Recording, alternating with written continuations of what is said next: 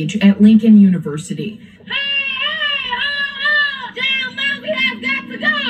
The Missouri HBCU, founded by former enslaved people more than 150 years ago, now at the center of a national controversy. We will honor Dr. Bailey. She will not be dismissed by this institution. This was the scene around the college town just weeks after senior administrator Antoinette Candia Bailey died by suicide in January. We need the university to know that we're hurting and we need some type of help and transparency in order for us to move forward. Why do you think it struck such a nerve and uh, sparked such a conversation? It was shocking. And I think there was a lot of fear that if the experiences that Black women are going through are not being paid attention to, that they can have really devastating results. Before her death, the vice president of student affairs, known affectionately around campus as Dr. Bonnie, alleged that she was harassed and bullied by her colleagues, including the university president, John B. Moseley. Her death rocked the nation even beyond academic spaces, but I think for Black women in academia, it was definitely a wake up call. In a statement, the university called Candia Bailey's death tragic and hired an outside firm to investigate her claims. The university president, Moseley, was recently reinstated after what the Board of Curators called an exhaustive independent investigation, which found no evidence that Dr. Moseley bullied Dr. Candia Bailey. Those close to her reacting to the investigation's results. My confidence in the thoroughness of the investigation is zero. Bonnie was not a person to mince words, or if she felt bullied, if she felt unheard, unseen, then that's what it was. It's frustrating. ABC News reached out to the university and Moseley and didn't hear back. In a statement, Moseley said, Our thoughts and prayers have been and continue to be with Dr. Bailey's family, friends, and our campus community. I am grateful to the Board of Curators for their faith in me and their vote of confidence. Candia Bailey's tragic death, putting a harsh spotlight on the struggles and hurdles that many black women say they face in higher education and beyond. Social media lighting up. The suicide of Dr. Antoinette Candia Bailey has me hot. I mean, hot like pissed hot. With women sharing their reactions. I see myself and so many of you guys in her and their own experiences. Black women are taught to be strong all the time, and nobody wants to care about our pain. It is literally killing us.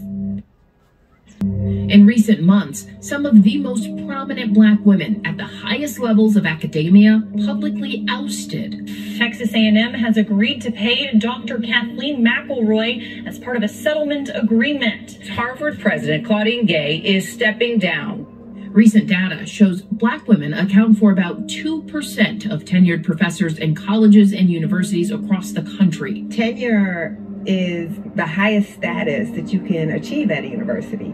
So black women get hired, but they aren't getting tenure and um, they aren't being moved through that process. That uphill battle, something Candia Bailey was aware of. After graduating from Lincoln University in 1998, the Chicago native spent more than 20 years climbing the ladder of academia. Here she is in 2016 at a thesis competition at North Carolina A&T State University. Attempts need to be addressed to look at how African American women can increase and advance in higher education. These factors also link to being treated like the help the outsider within, keeping them away from the table. I love the, the orange because, you know, it, it's kind of vibrant like her, her personality. LaDonna Flanagan is Candia Bailey's aunt. Bonnie was a very caring and kind, selfless person. She loved very hard, and I know that's why so many people loved and gravitated to her. When she got hired by Lincoln University, it was a dream come true. Basically, captured the heart of our relationship, which was always laughing. Omega Tillman and Candia Bailey were sorority sisters. When she got the interview, she sent us this text message like, I'm trying to get the VP job and I really, really need you to pray because I really want this. But the sweet dream soon soured. After nine months on the job, Candia Bailey was terminated. Five days later, the 49 year old died by suicide, leaving behind a scathing note where friends say she alleged being bullied at work.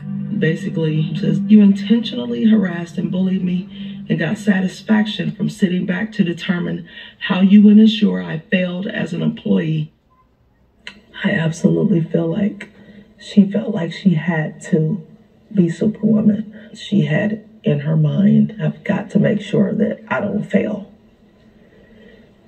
Because I feel like that's what they're expecting. Pressures Pulitzer Prize winning journalist Nicole Hannah-Jones knows all too well. It's a struggle to be respected. It's a struggle to be heard. There's so many obstacles, and often uh, the higher you ascend, the lonelier it gets. Hannah-Jones made headlines for initially being denied tenure at the University of North Carolina's journalism school, her alma mater, in 2021 after some university board members reportedly opposed her appointment because of her involvement with her award winning 1619 project, which chronicled the history of Black Americans. You can play the game and then they'll just change the rules of the game on you. So that is the frustration that so many Black women have. Even when we have tried to make ourselves undeniable, in the end, we can be denied, and it has nothing to do with our work ethic our ambition or our talent. The New York Times journalist ended up taking a tenure position at Howard University, an HBCU. We're talking about academia, but more broadly, do you think that there is more work to be done in corporate America, in just America, to make it where Black women can not only be, but thrive? These conversations are not about handouts. They're not about giving Black women something that they don't have the ability to earn on themselves. It's simply about being fair and allowing Black women to live up to their full potential so that our entire society can benefit. Everybody experiences stress related to employment, but study after study after study has shown that Black women specifically experience disproportionate amounts of stress. Clinical psychologist Inger Burnett Zeigler studies the mental health of Black women. According to the CDC, Black and other women of color tend to be evaluated more harshly than men and white women as they navigate harmful stereotypes at work. The stereotype of the angry Black the stereotype of the strong Black woman, the stereotype of the hypersexual black women.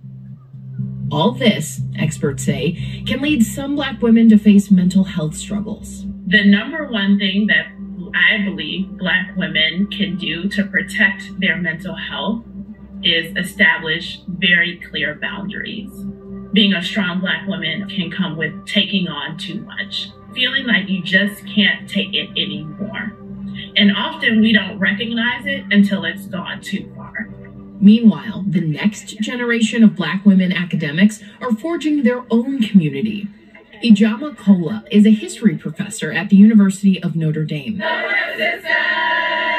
She founded Cohort Sisters four years ago. So that's where Cohort Sisters really came in. This idea that we're not alone. We have one another. We have this community, this rich community of doctoral scholars that we can lean on and that we can support. It really had me like reflecting on my own experience with mental health and what kind of resources I had access to as a PhD student. If you are going through something, just post it on the platform. People will encourage you. We might not have an answer, but somebody will say, it's okay, sis. You're gonna be okay. And sometimes that is all you need to hear. It doesn't matter if there are more of us with doctoral degrees if we are not well, if we don't have the internal capacity to navigate the spaces that we're in, but also if we don't work to systematically change the culture of the environments that we inhabit. Back in Missouri, Lincoln University acknowledging that there is more work to be done, writing in a statement, this tragedy has forced us to grapple more fully with issues facing Lincoln and our individual students and employees, ranging from mental health support to employee work and relationships. What do you think justice looks like for Dr. Candia Bailey? Oof, um, I don't think it's possible. What we can do, though, um, is to try to create an environment where we don't have to have um, what happened to Dr. Bailey anymore. For those who knew and loved Candia Bailey, they're calling on change in her memory. I'm hoping that response would lead to a larger conversation around the country because so many women may be suffering. Okay, guys, if y'all stay to it to the end, I hope y'all enjoy it. And I want to put out more content for y'all because y'all been rocking with me. I appreciate it so, so much, y'all. And some of my, some of my um, subscribers, they was asking me for my Cash App. But I'm going to put the Cash App up here and y'all can donate you know, so I can keep making good content. So I need to start making better content. So thank you so much that you watched the whole video and enjoyed it. I hope you enjoyed it. All right, y'all. Peace. I'm out. Hit that like button and subscribe.